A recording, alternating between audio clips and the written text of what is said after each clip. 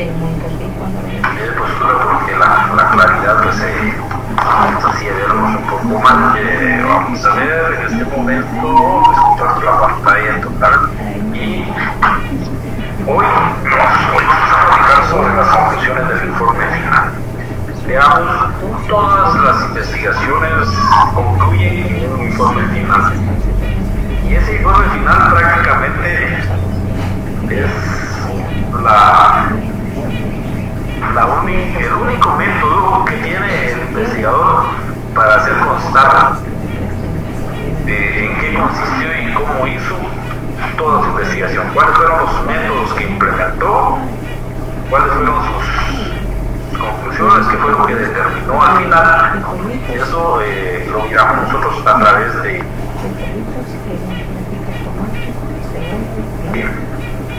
el informe final. Entonces, el informe final prácticamente es, es esa, ese resultado que el investigador eh, y que, que lo plasma el informe final, podríamos considerar como el medio que utiliza el investigador para eh, plasmar los resultados de su investigación. Y nos vamos al objetivo de la clase. El objetivo de la clase es que ustedes aprendan a cómo llevar a cabo esa redacción de esas conclusiones y recomendaciones de manera adecuada en un informe final de investigación. De hecho, las conclusiones y recomendaciones en todo documento deben llevar siempre la misma estructura. Siempre la misma estructura. ¿Por qué? Porque cuando llegamos nosotros eh, a una conclusión sobre esas, como esas apreciaciones finales que nosotros hacemos del tema que estamos investigando o de la investigación que estamos realizando. Pero además de eso, hay algo que no puede apartarse y que debe ir siempre de la mano con la conclusión, que son las recomendaciones. Vean, en eso tenemos mucho, mucho problema en las conclusiones y recomendaciones. ¿Por qué? Porque nuestros alumnos, de hecho, no solo alumnos, también académicos, en profesionales de todo nivel, es que eh, llevamos a cabo las conclusiones, unas conclusiones y hacemos otras recomendaciones. No, la, recomendación es la respuesta a la conclusión. Más adelante vamos a ver, de hecho ya lo vieron, porque ustedes ya tuvieron la oportunidad de, de ver las diapositivas de, este, de esta semana, porque pues para no tener la presión ahí de, de y eran las diapositivas, porque a veces se preguntan, mire, ¿alguna duda? Sí, ¿cuándo nos va a compartir las diapositivas? Entonces, para, para que ya no aparezca esa, esa pregunta, eh, pues de una vez compartir las diapositivas de la clase número 11. Lo hice por eso, pero también lo hice porque sé que algunos de ustedes hacen más esfuerzos que otros, algunos tienen mucho más compromisos. Mejor si, si se van adelantando a tener ya todo su contenido de lo que va a ser la parte del examen Entonces, hago esa, esa alusión porque eh, aquí quiero considerar que ustedes ya eh, estas diapositivas, entonces ya ustedes ya tienen un concepto de lo que debe ser una conclusión y cómo debe hacer una, hacerse una recomendación. Eh, por supuesto, si esa conclusión son las apreciaciones finales de los hallazgos de una investigación, por supuesto que es que la, las recomendaciones deben ir de la mano y si, si las conclusiones identifico un problema, la recomendación es cómo solvento el problema o qué debo hacer para solventar ese problema. O sea, así debe una conclusión, de una conclusión debe derivar una, una recomendación. La recomendación es, si tenemos cinco conclusiones, tenemos que tener conclusión uno de la mano con la recomendación 1. Conclusión 2 de la mano con la recomendación 2. Conclusión 3 de la mano con la recomendación 3. Conclusión 4 de la mano con la recomendación 4.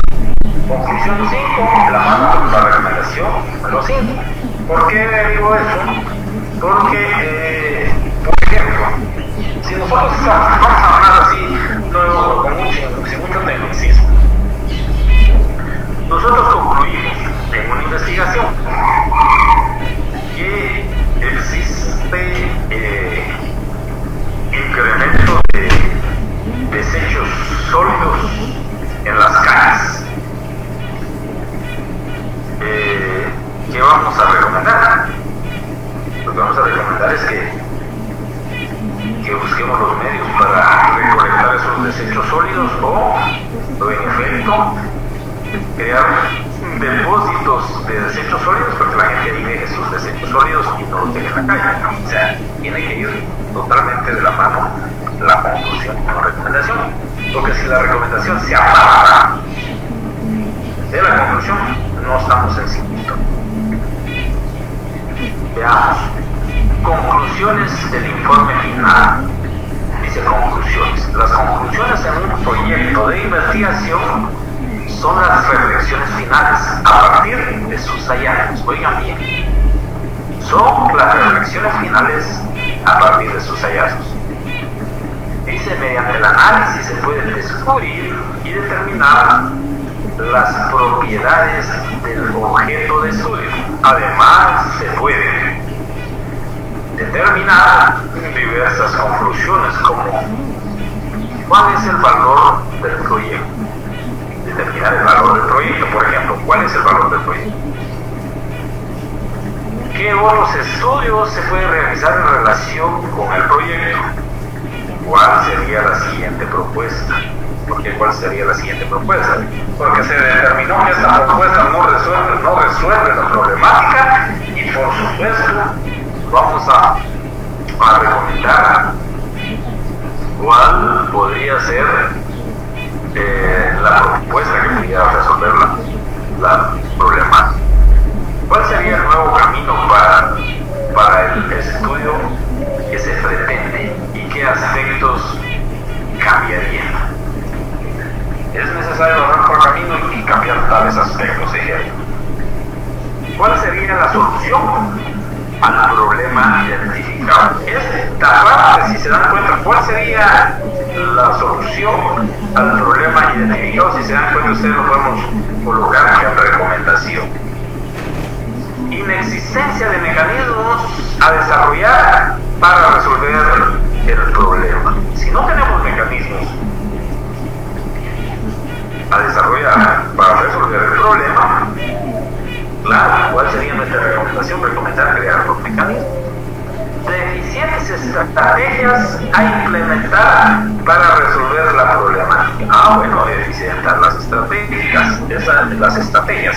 Eso va a ser lo positivo. Prácticamente yo así de manera sencilla y humilde podría decir que las conclusiones son los problemas identificados y las recomendaciones son las posibles soluciones o las recomendaciones o en otros términos podríamos decir que las, las conclusiones son lo negativo del tema y las recomendaciones pueden ser lo positivo. Pasamos la. Aquí vamos a hacer el mismo mecanismo que hemos utilizado en el modelo dominó, que nuestras conclusiones son lo negativo. Pasadas a positivo se convierten en recomendaciones. Veamos. Recomendaciones. Las recomendaciones deben ser congruentes con los hallazgos y resultados afines con la investigación. Oigan bien, amigos, prácticamente aquí se confirma la tesis que estamos manejando, recomendaciones. Decía yo que las recomendaciones no pueden apartarse de la conclusión. Entonces aquí nos dice que las recomendaciones deben ser congruentes con los hallazgos y resultados afines con la investigación. La recomendación en una investigación consiste en proponer la solución al problema identificado. La recomendación debe ser, debe siempre ser coherente con las conclusiones. Prácticamente podemos considerar entonces que la recomendación no puede apartarse de proponer del contenido de la conclusión. Ejemplo, Y dice, si la conclusión es que los gestores de la aduana Santo Tomás de Castilla realizan una función de la recomendación sería proponer que hagan un trabajo eficiente. Prácticamente si se dan cuenta ustedes estamos casi en el mismo jueguito del modelo Domino. Negativo. Efecto negativo. Y en resultados generales pasar positivo nuestro efecto. Problema central negativo. Pasar a positivo objetivo específico. Así es el, el jueguito de la, de la investigación. Si, los, si nuestra conclusión es que los gestores de la aduana Santo Tomás de Castilla están realizando un trabajo deficiente, lo correcto es recomendar que hagan un trabajo eficiente. Entonces, eso es, solo es de cambiarle orden de negativo a positivo. Redacción de la bibliografía. Esto es parte de lo que ustedes ya han venido manejando desde, desde que empezaron los estudios. Esta es una parte que es sencilla, pero que muchas veces nos cuesta mucho. Dice, en esta parte del proyecto se presentan algunos textos que fueron las primeras fuentes para el estudio del tema. Nosotros, cuando hablamos del marco teórico, en la clase la que nos correspondió hablar del marco teórico, hablamos de un conjunto de definiciones, eh, conceptos básicos, antecedentes, eh, que, nos lo que prácticamente nos generan esas definiciones, esos conceptos básicos, los antecedentes, de aquellas investigaciones ya realizadas, o aquellos libros o revistas a las que podemos acudir nosotros para nutrir nuestra investigación. Y aquí hemos llegado a esa parte. Dice, eh, en esa parte del proyecto se presentan algunos textos que fueron las primeras fuentes para el estudio del tema. Se indican los libros, las revistas o los documentos que permiten clarificar algunos conceptos o ideas y que son fundamentales para la elaboración del proyecto de investigación. A esta información se le denomina bibliografía. Por lo tanto, se debe considerar que cualquier libro, diccionario, enciclopedia, revista, periódico, folleto, gaceta, video, documental, película, sitio web, enciclopedia electrónica y este consulte deberá ser revisada como corresponde. Ahora bien, cuando haya revisado y registrado las fuentes bibliográficas y hemerográficas, se procede a elaborar la bibliografía. En la universidad prácticamente nosotros tenemos una regla en las investigaciones que se realizan en la universidad rural, la bibliografía normalmente se realiza de acuerdo a las normas A. Es, eso va de la sexta edición específicamente. Ese ha sido cajonero. Por supuesto, si eso ha sido cajonero y eso siempre se ha utilizado, eso no significa que por fuerza eso se vaya a utilizar cuando ustedes ya tengan que hacer su investigación final o cuando ustedes tengan que trabajar su tema de investigación. Porque de repente ya las cosas han cambiado y ya utilizamos alguna otra edición. De momento, sexta edición, esa es la última, el último, la última actualización que yo tengo conocimiento que se ha estado utilizando y considero que esa se va a seguir utilizando. Y en algún momento puede tener algunos cambios. Por eso es necesario que nosotros trabajemos de acuerdo a lo que a las reglas actuales. Las reglas nos las dicen nosotros y para poder concluir o para hacer o facilitar nuestro trabajo necesario, obedezcamos reglas. que sigamos instrucciones, porque si no seguimos instrucciones se nos complica un poco. En la vida todo es de instrucciones. Si nosotros vamos por la vía pública, las instrucciones nos dicen que tenemos que detener la marcha porque más adelante sucede tal cosa. O las instrucciones nos dicen que ahí adelante hay una curva peligrosa, ejemplo, las señales de tránsito. Entonces, ¿qué va a pasar? Si nosotros obedecemos esas señales de tránsito, por supuesto, no vamos a tener problemas para, para continuar nuestro camino para llegar al final. Pero si nosotros no seguimos esas instrucciones, vamos a tener esa serie, esa serie de inconvenientes que cada rato nos vamos a accidentar y debemos empezar de nuevo. O si no, ahí terminó y no llegamos al final.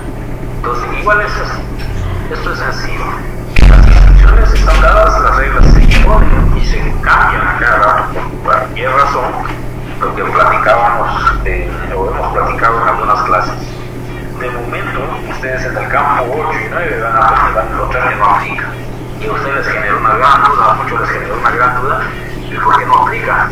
Bien, debe aplicar, sí, es cierto, pero fue un, eh, como un medio de apoyo que la universidad le dio al alumnado, decir, bueno, vamos a quitar el trabajo de campo. El trabajo de campo es ese, ese conjunto de boletas que le vamos a pasar a las personas para comprobar el efecto o para comprobar la causa, ya sea las personas encuestadas, entre personas censadas, entrevistadas, cuestionadas, entre. Esas son las reglas y simplemente tenemos que seguirlas. Si las reglas son que gracias a Dios en este momento no se está haciendo trabajo de campo, pues en buena hora, gran ventaja. Dice ejemplo de la utilización de la de norma SAPA, primero el apellido, después año de publicación y luego la marca.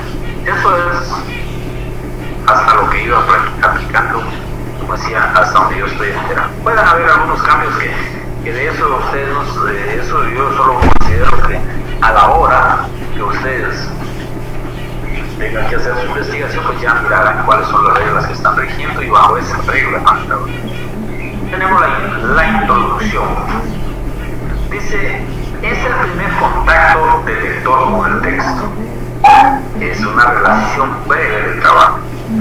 En el caso de la introducción de los trabajos de investigación debemos empezar con el nombre del tema, la forma en que se desarrollará, finalizando con los anexos que acompañan el trabajo.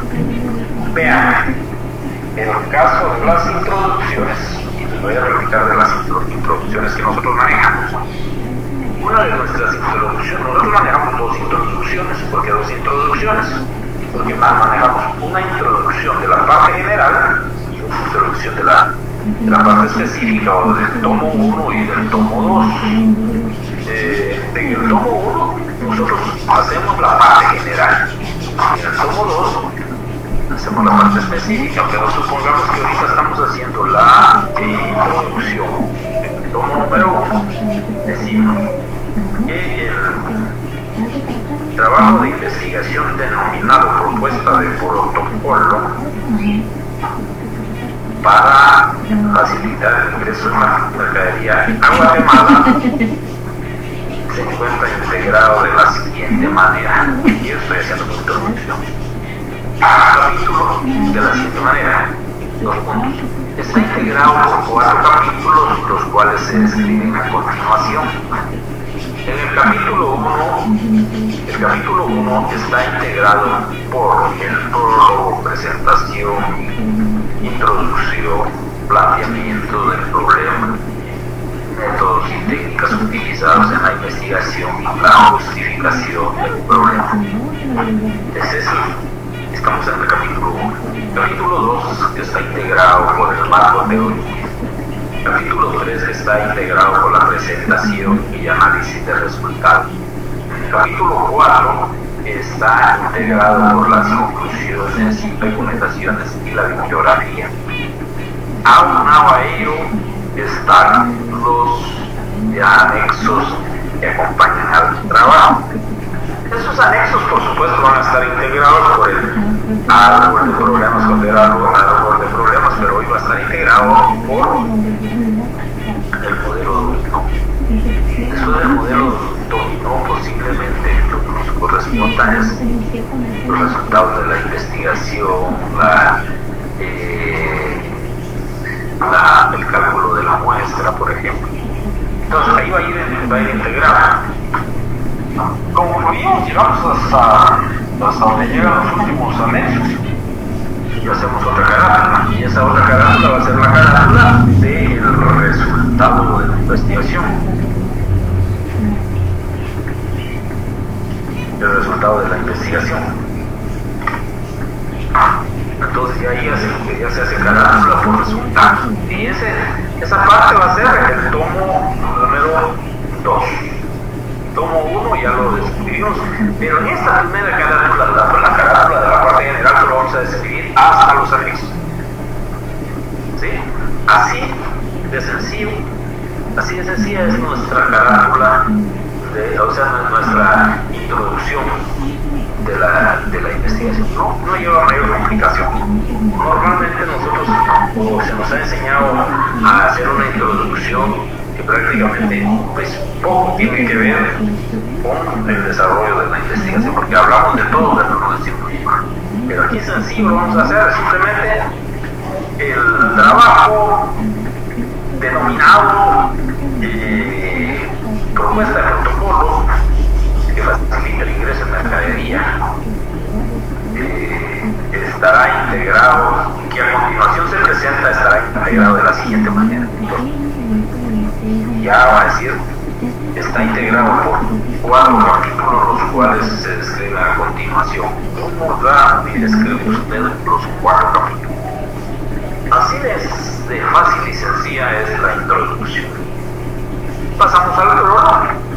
Este prólogo es una cuestión muy discrecional. En obras literarias el prólogo funge como introductor del contenido del libro. En él podemos encontrar un argumento o bien un texto que ambienta al lector a seguir la lectura del tema. Prácticamente el prólogo es como, como ese llamativo que tiene el tema de, para leerlo, o sea, esa, esa atracción que genera el leer el tema.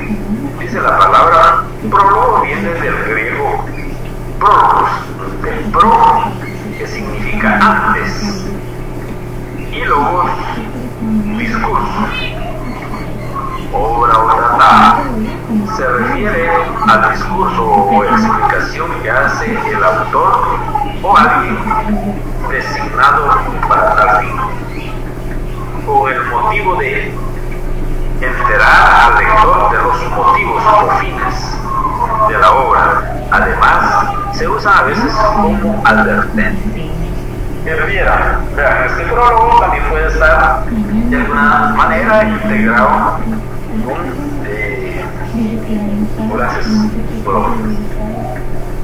En el prólogo también se utiliza, muchos utilizan pues sus propias experiencias, claro, que tienen empezar de ir rezando el tema,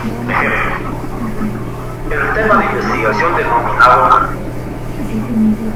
eh, protocolo para facilitar el ingreso de mercadería a Guatemala. Eh, es un tema que ha venido a contribuir de gran manera o va a contribuir de gran manera para resolver la problemática y evitar desgastes en cuanto a, los costos para ingreso en mercadería de Guatemala. Este tema, un tema que elegí porque estoy, eh, me atrae mucho el derecho mercantil, pero además de eso, pues, tuve el apoyo de mi, mi familia, mi esposa, mis hijos, mis papás que hicieron eh, reflexionar sobre la importancia del mercantilismo en Guatemala. Es por ello que agradezco primero a Dios por la vida que me ha dado y, por el apoyo que mis familiares me han brindado para poder eh, este o llevar a cabo esta investigación. Eso prácticamente, o sea, el prólogo puede ser muy formalista, hasta cierto punto es un poco discrecional.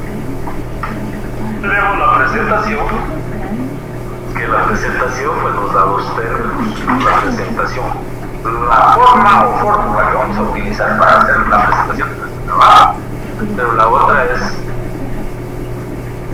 eh, que como vamos a, es la parte como previo a la introducción. Si se dan cuenta, la presentación está antes de la introducción. La presentación dice un trabajo de investigación constituye el resultado final del informe de investigación. Pero cuando dice constituye el resultado final del informe de la investigación, se está refiriendo al término de cómo hacer llegar la información, si la vamos a presentar por escrito, digital, pero eso no es lo que queremos nosotros saber. En esta parte del trabajo se puede hacerse referencia de uno de los objetivos más importantes del trabajo. Y también puede resaltarse la importancia que significó para el investigador llevar a cabo el trabajo. Pero esa, esa, esa presentación prácticamente es en algún momento como fuera una breve introducción, pero no es introducción. La introducción tiene que llevar ciertos detalles, mientras que la, la presentación no lleva muchos detalles. Tenemos la elaboración del trabajo final de investigación, lo que les decía al principio. Prácticamente es el informe final el medio que el investigador utiliza para plasmar todo el desarrollo de su investigación y el resultado final al que llegó su investigación. prácticamente es sencillo. Compañeros, previo a irnos a las preguntas, hemos llegado al tiempo, sin embargo, como por cuestiones de sistema nos entramos un poquito no nos accedió temprano a agregarnos cabal a la hora punto porque tenemos un poquito de problemas de conectividad pero como eso eh, yo pienso que ustedes pues necesitan necesitan que se les dé la clase completa pues aunque ya hemos llegado el tiempo voy a dar un pequeño espacio para que ustedes se pronuncien si les queda claro esto, como decía, esta parte es la parte más práctica y sencilla, o si tienen algunas dudas al respecto para aclararlas en este momento. Así es que tenemos cinco minutos de preguntas.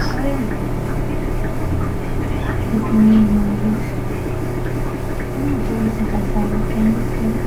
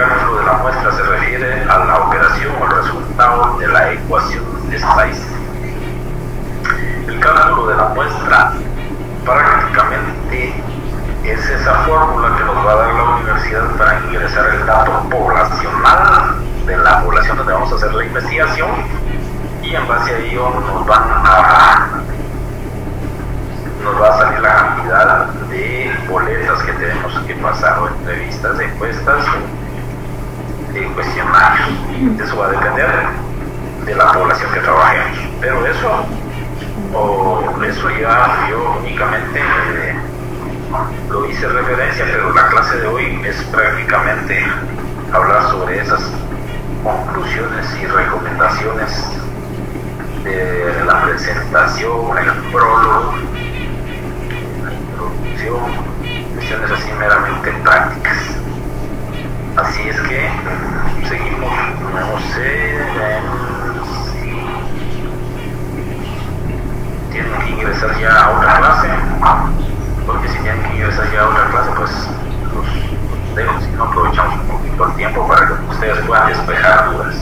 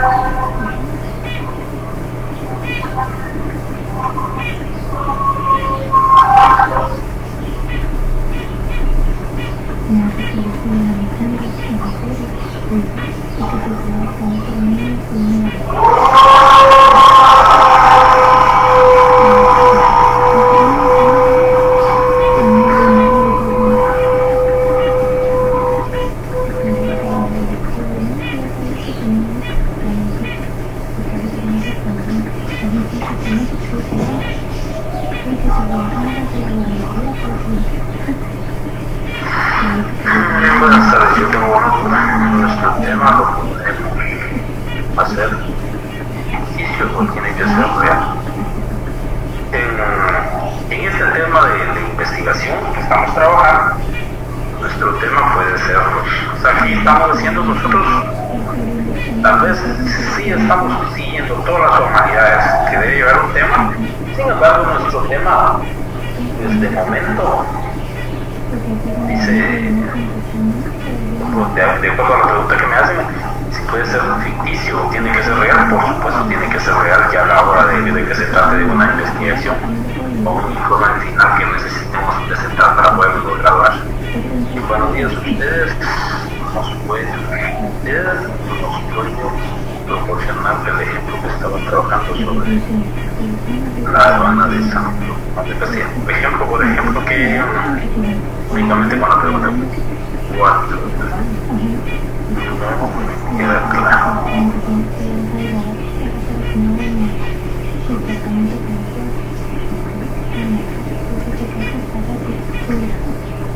lo que no me queda claro de la pregunta 4, compañero, y en cuanto a la pregunta que nos dicen, si nos puede proporcionar el ejemplo que estaba trabajando sobre la aduana, de casi?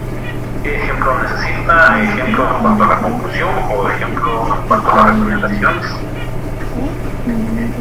Entonces, si me amplío un poquito la, la preguntita para poderle aclarar un poquito.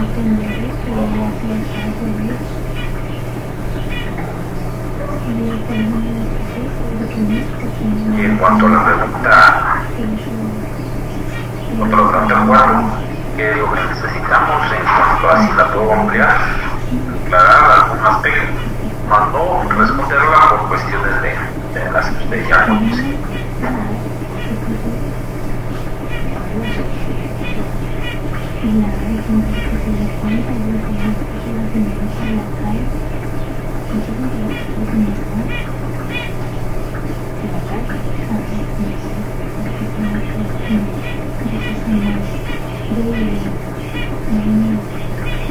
Thank. Thank you.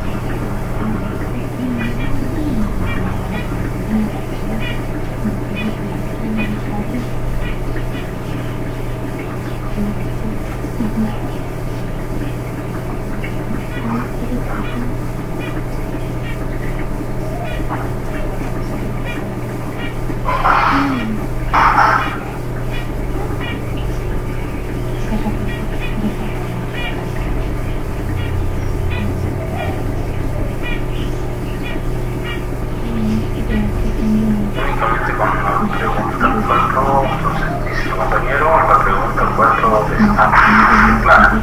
Gracias, compañero.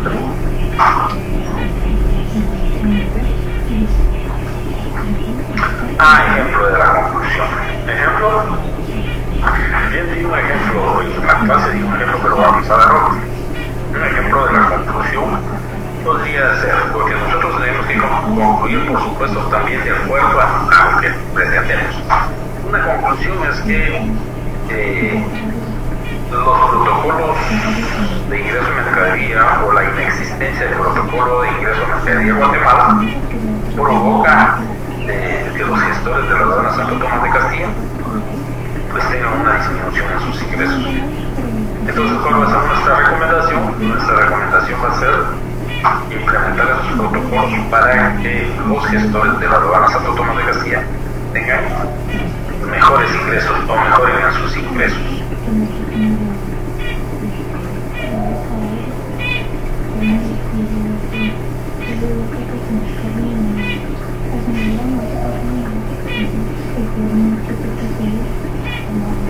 Con la pregunta 4 dice, está en el video, ahí está. Bueno compañero, haber estos 5 minutos más de lo que de lo que me permitió el sistema ingresar. De esa manera pues, me quedo satisfecho porque les he dado mi tiempo y cumplido más de los 45 minutos. Agradezco enormemente su atención. Eh, espero en Dios que nos podamos ver en la sesión número 13, que es la que nos corresponde, porque la 12 será examen.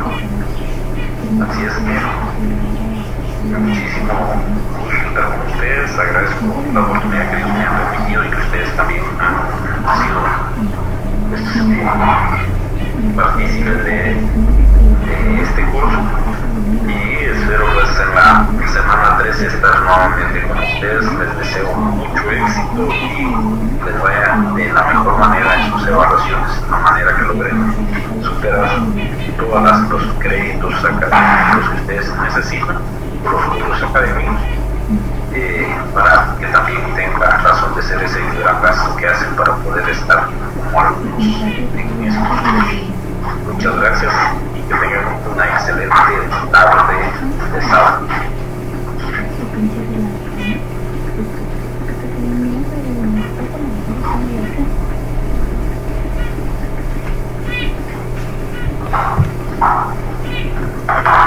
Bueno compañeros, de esa manera llegamos a la parte final de la presentación.